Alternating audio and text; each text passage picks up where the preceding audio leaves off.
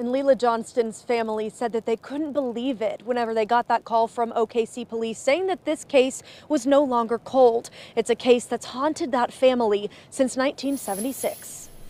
I thought it could, would never be finished. It, it, had been so long. It had been, you know, the little gnawing in the back of your head all the time that who did this?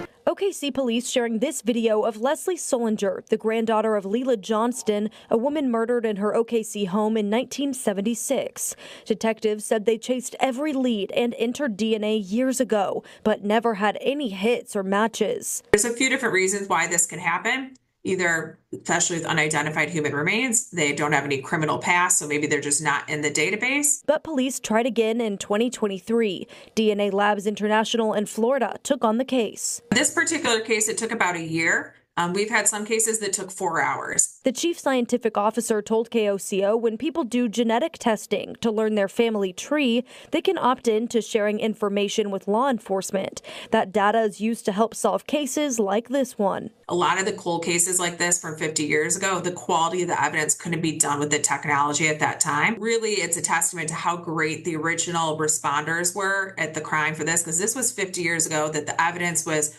preserved and maintained and was a suitable quality for us to be able to even do this type of testing. The company uses that data to match a suspect. Sometimes it turns out to be a very distant relative of the person who submitted for the test. So a lot of times this might be even back to like the 1800s. In this case, DLI found a positive match for a man named Charles Droke as Johnston's killer. Droke himself was murdered years later. There's tens of thousands, if not hundreds of thousands, unidentified human remains in throughout the country. And all those people have families that are looking for them. Don't give up. Um, just wait. The technology keeps getting better and better.